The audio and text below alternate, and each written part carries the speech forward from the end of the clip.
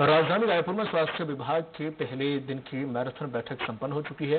बैठक में सभी जिलों के जिला चिकित्सा अधिकारी मौजूद रहे। सीजीएमएससी की खामियों और नाकामियों पर यहाँ नब्ज टोलने का काम किया गया और साथ ही साथ बैठक की समीक्षा के एजेंडों पर स्वास्थ्य मंत्री टी एस सिंहदेव ने अधिकारियों से बातचीत की।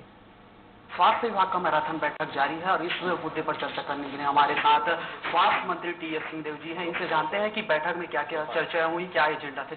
सर बैठक के क्या एजेंडे रही अब तक क्या क्या चर्चा हुई? एजेंडा व्यवस्था को सुधारने का है और जो कमियाँ थी विद्यमान थी कई कई पैमानों की उनको कैसे स्ट्रीमलाइन किया जा सकता है कैसे सुधारा जा सकता है? सुबह से शाम तक की जो ये बैठकें हो रही है मंथन में क्या कुछ खामियाँ समझ में आई है अब तक?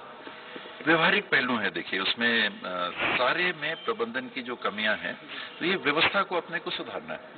जवाबदेहियाँ तय करके आ, कितनी आपको दवाई चाहिए आप बता दो।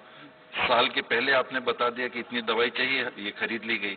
जब आपने बताया कि इतनी दवाई चाहिए चाहिए उतनी खरीद ली गई तो फिर कम क्यों हो रही है?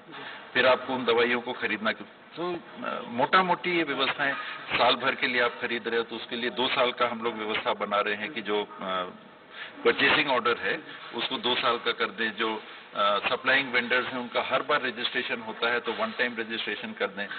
व्यवस्था को कैसे पारदर्शी और और सुविधाजनक बनाया जा सकता है ताकि काम करने में आसानी से की स्थिति बने। आपने इस बैठक में क्या दिशा निर्देश दिए हैं?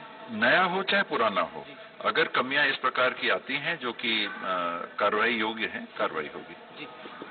तो अभी आपने सुना स्वास्थ्य मंत्री टी एस सिंहदेव जी का, जिनका साफ़ कहना है कि ये व्यवस्था को पारदर्शिता बनाने के लिए यह मंथन जारी है और कल भी ये बैठक जारी रहेगा। कैमरा मैन जग्गा के साथ सत्याराजपुर, स्वराज एक्सप्रेस, रायपुर।